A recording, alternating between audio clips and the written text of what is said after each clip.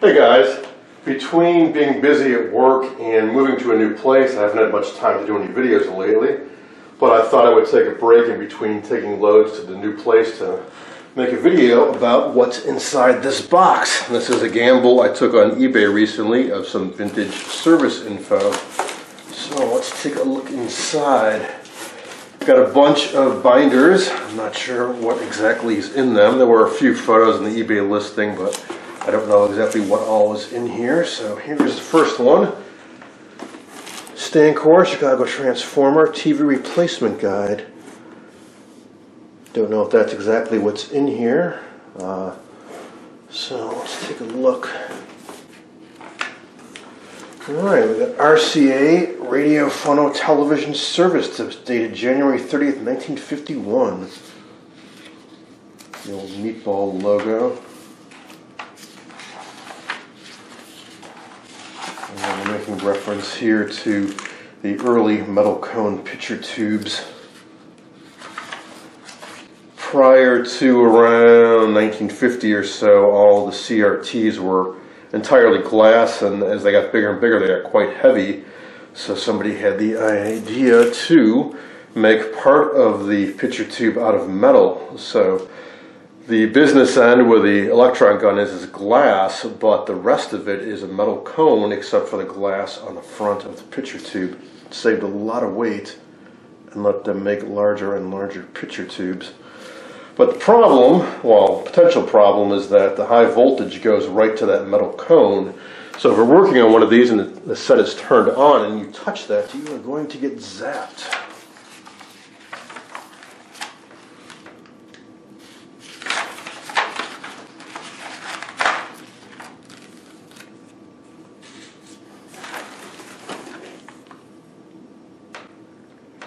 Talk a bit about the, the situation dealing with these is that you've got to insulate this from the rest of the set and the control. So there's a plastic uh, ring that goes around the front and a shroud, all to protect the user from getting zapped by that high voltage, which would be upwards of 16,000 volts or so. Now up to April of 52. So it looks like somebody was probably subscribed to their uh, service notes and compiled them all, now 55, they compiled them all in this binder. I don't have a whole lot of uh, RCA, I don't, really, I don't think I have any RCAs from this era, but it's cool to see this nonetheless. Here they're talking about uh, what you've seen me deal with in the Predicta sets instead of point-to-point soldered wiring, they switched to wrapping wires around posts. Solderless connections, solderless connections with uh, made with a power tool, basically wire wrapping. So you'd have a, a, gun like this, and you'd put your wire into the end of it and do a little zzz, and it would wrap the wire around the post. Nice for construction, no doubt it sped things up on the assembly line, but not so nice for servicing. Tips for reception and fringe areas. Alright, on and to 57 now.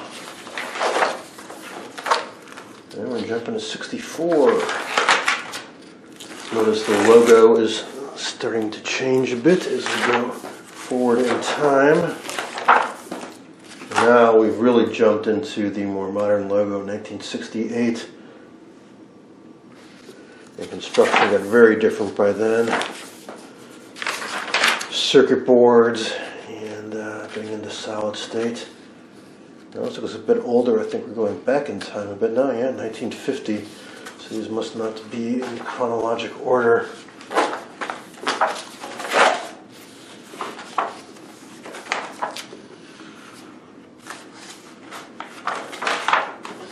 Sixty-three, sixty-seven.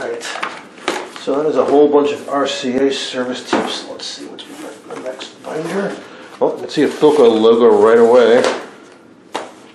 So although it says Kelvinator on the jacket, that is not what is inside. Household refrigerators, electric ranges, commercial refrigeration. But inside we've got Philco service bulletins.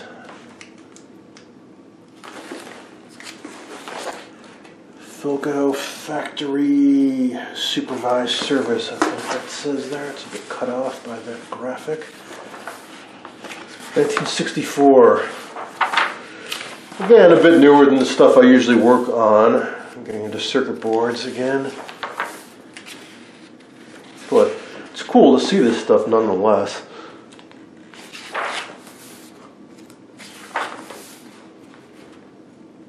Color TV. Maybe, maybe one of these days I'll get a real vintage color set. So far, the best I've got is a GE Portacolor set. Maybe someday I'll get a roundy, especially now that I've got more room.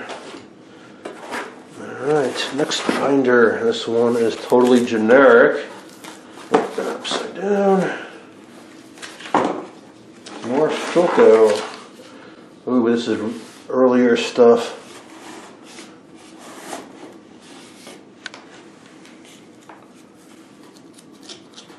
Tell that because I saw, I think, a glimpse. Yep, Philco 7008, which I do have, and I will get back to working on. That is an all-in-one uh, scope and sweep generator. All-in-one for doing alignments on TVs.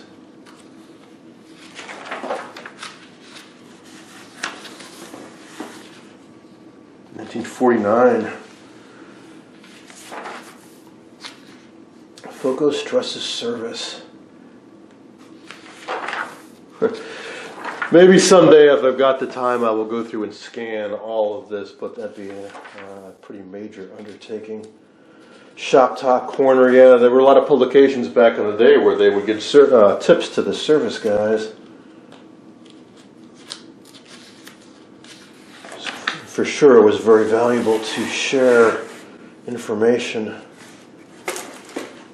with the service techs about how to work on these old TVs and radios. Now we've got the forums, you that old shop.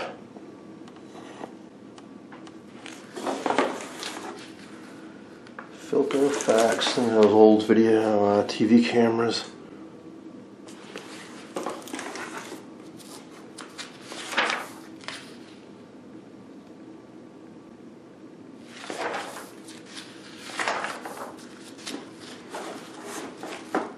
Very cool stuff. If I've got the time, I will. Uh, I think I'll have a lot of fun going through all these and reading them. May 1951.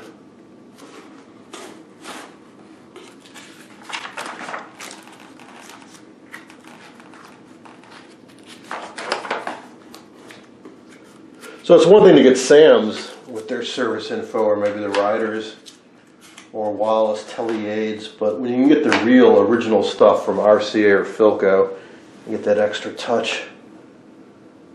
Wireless remote control. 1940, I'm guessing. So when they show the models and it says 40, that usually means it's like 40 dash. It means it's from 1940.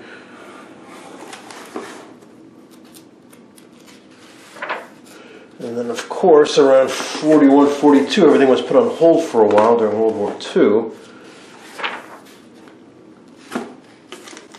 March 1951, we had the Korean conflict going on, which also had a bit of an impact on the industry.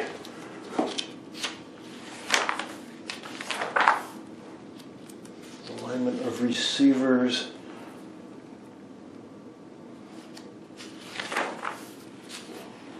One about remote control.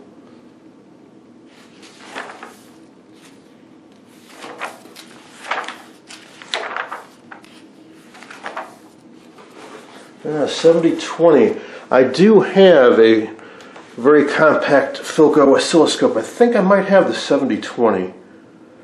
I started doing a little bit of work on it. Still have a bit to go. The CRT that came with it was really trashed. It's a 3RP1, but I do have a replacement.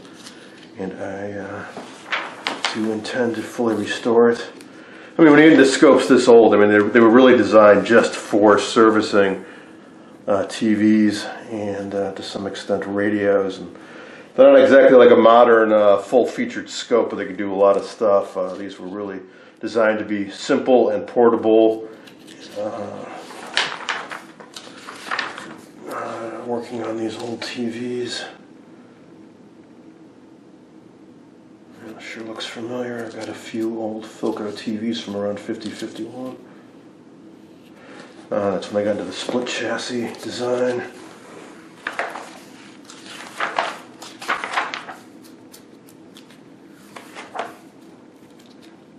Ooh, cabinet refinish and touch-up. Somebody posted uh, some notes similar to this, uh, dealing with radios. I think uh, some of the restorers out there would appreciate if I could scan this and, uh, and post it online. So these are tips for, well, how to touch up cabinets back in the day.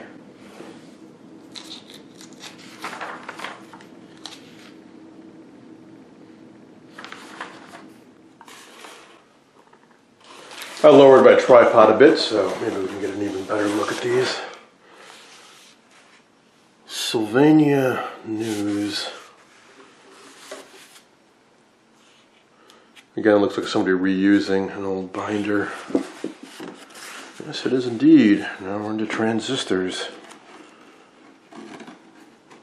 1958. So these would all be germanium transistors for sure.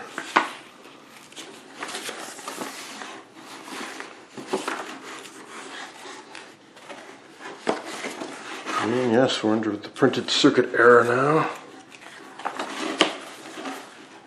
For quite a while, there was there were uh, hybrid sets with transistors and tubes. Picture on the wall TV projection sets, 1959 style.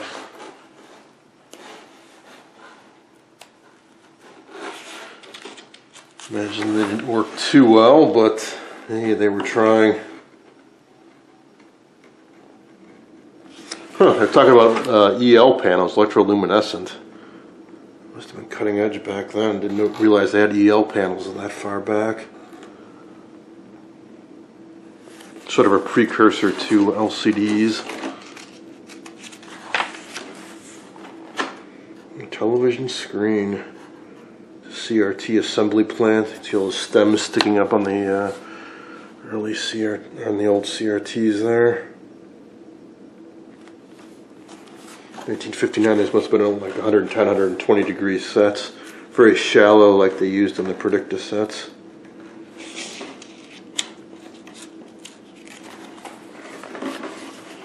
And we're getting into stereo now. What's cool about these is they have supplements like for new tube types that came out here is updated settings for your tube tester. So much info to scan and collate and, and put out there for people.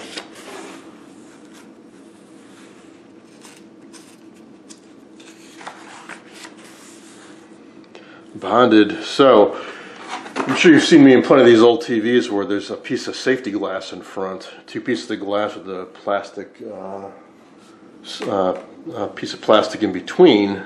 So if the CRT would implode, it would protect you from flying glass. Well, they got bonded where they actually would, well, effectively glue a piece of uh, plastic onto the front of the CRT.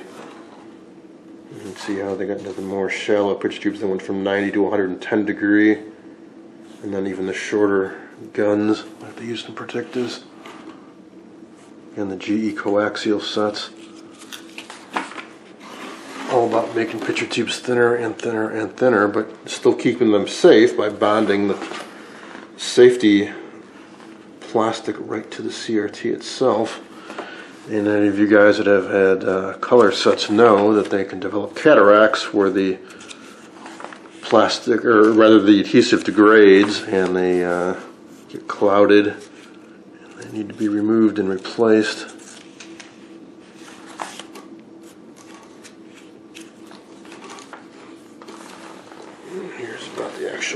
manufacturing process to do the bonding.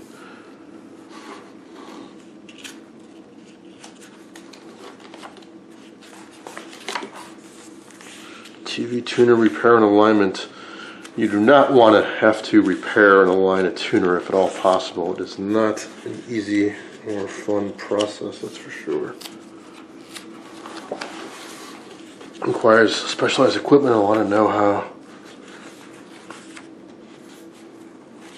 Advances about picture tubes.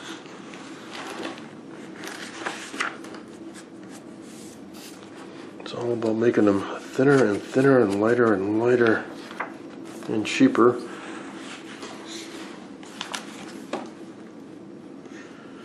And yeah, as you made them bigger and bigger and flatter and flatter, you get more and more optical defects you have things like pincushion correction. Alright, the next one, United Service Motors. Uh, somehow I suspect that it's not what they're talking about inside. Oh, more Sylvania news. Got an old tube tester. Ooh, 1946, earliest yet. Right at the dawn of TVs.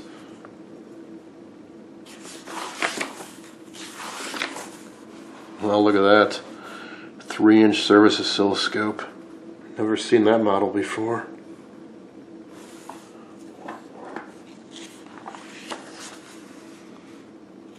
More field service equipment.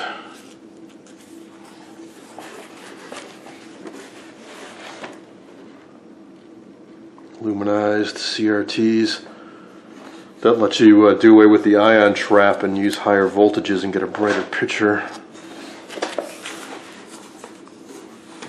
Photos of the production line, yeah. I mean, so I mean, if I had someday, if I've got the time and the equipment, I would love to scan all this stuff. But there's just so much info. I wonder if that's the shop this came from.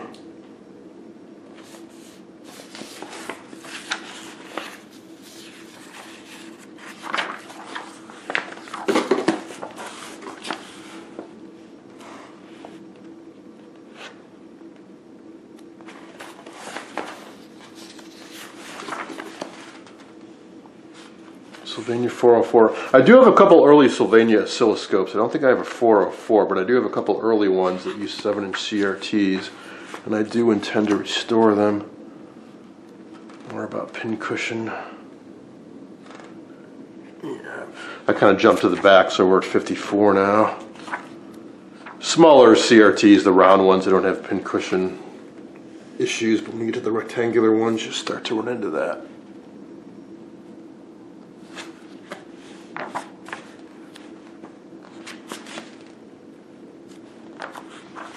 Well, Sylvania produced a lot of uh, tubes and uh, picture tubes, so not surprisingly, the Sylvania News is going to have a lot about CRT development and uh, test equipment. They did make some TVs, but uh, not too many. I don't think I've ever come across one.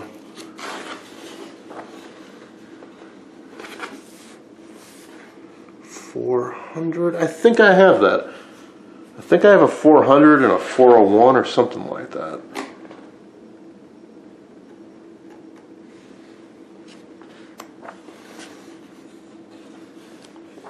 Sweep generators, tube testers.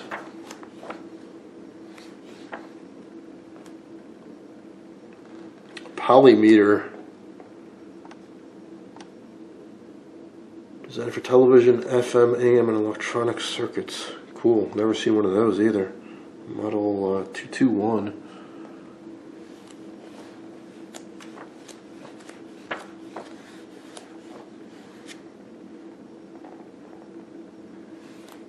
Oscillator.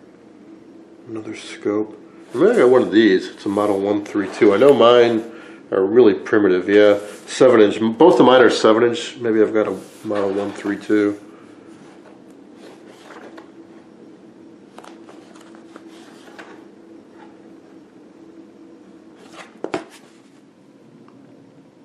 sorry I'm going through these so fast, but there's just so much info here. Now we've got one, uh, appears to be a GE manual. We'll, we'll see if that's actually what's inside of it. Yes, it is, and this looks like it's pretty ancient. Price 15 cents, second printing.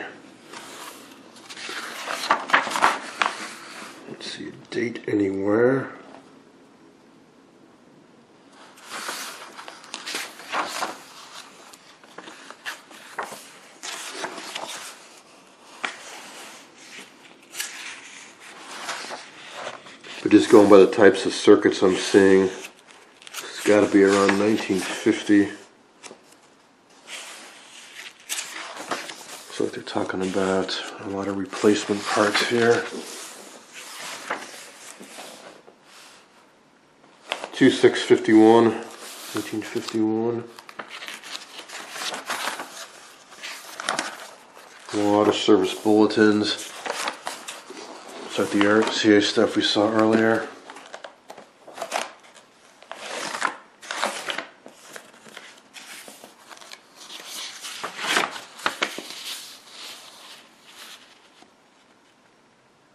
Hmm.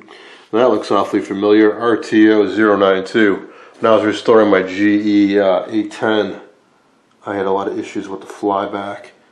And I think I may have seen this service note.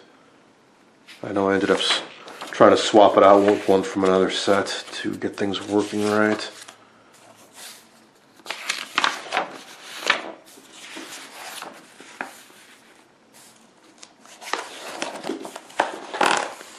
And on and on and on.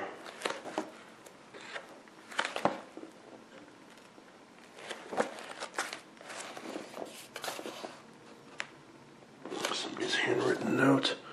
So it looks like we got service info here for specific sets. If I'm lucky, I'll have some for sets that I actually own. Don't have an 815, but I do have an 8 or an 806 and an 800 and an 802.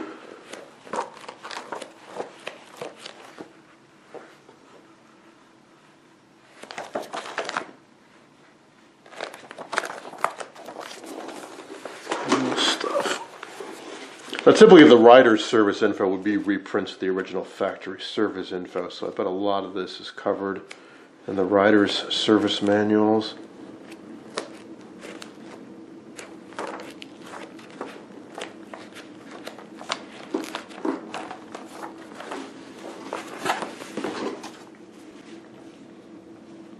Now here's a couple thin folders. This one has no markings on it at all. Uh, Sylvania News, 1955. Oh, that's cool. The 5AXP4. I'm sure you've seen me use this if you've watched me uh, some of my older videos. That is the test CRT I used for the old round black and white sets. 1955. I would have thought that would have been introduced a lot sooner than that because round picture tubes went out of fashion around 1950. I would have thought this uh, check tube would have been introduced many years earlier than 55. Huh. That's cool. Looks like all about the development of it and, uh, and how to use it. Very, very cool stuff.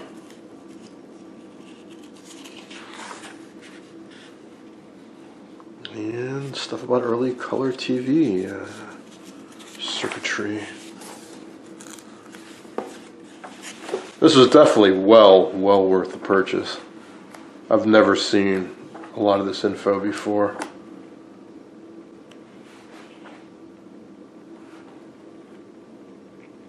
And now they're talking about the 8XP4. That is the early test CRT for rectangular picture tubes, which you've also seen me use most recently in my Dumont RA113 restorations. Introduced in 56.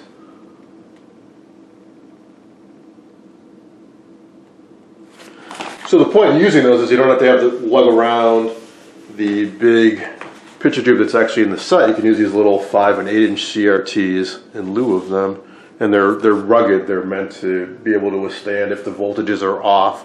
You're not going to ruin it. Hmm, Fada. This is actually going to be Fada info? No, Motorola.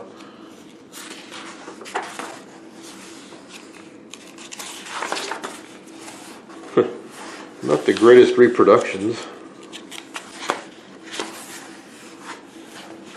The old Motorola logo where it's just a, a squiggle instead of an instead of a stylized M. 1952.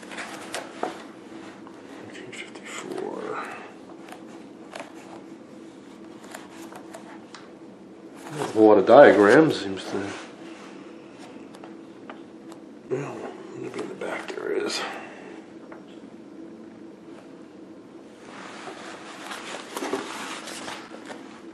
Yeah, some very, very cool stuff.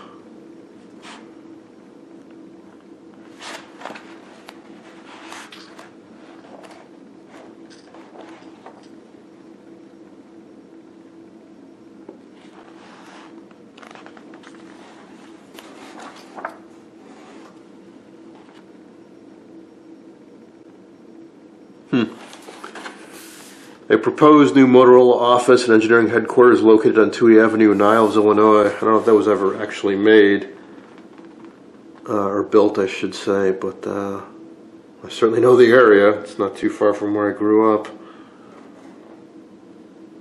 And uh, mm, I don't think that was built. I gotta say, I, I know Niles pretty well, and I don't recall ever seeing anything quite like that.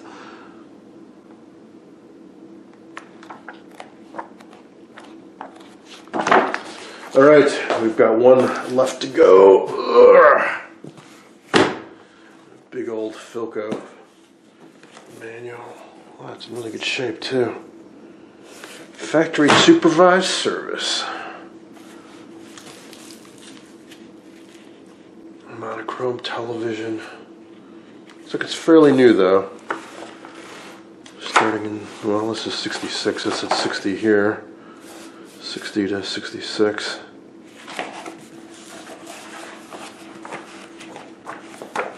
Kind of a drag because it's right after the Predictas. So this would be after Ford bought them, I guess. I suppose my town and country might be in here. But uh, none of the none of the classic Philco stuff. A lot of people think that like Philco disappeared after the Predictas. No, Ford bought them, and they, they were around for a long time after that.